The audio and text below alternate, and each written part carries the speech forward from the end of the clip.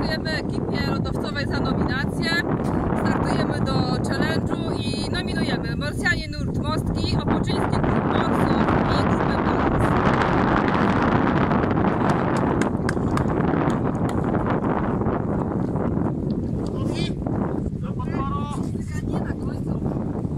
Raz, raz,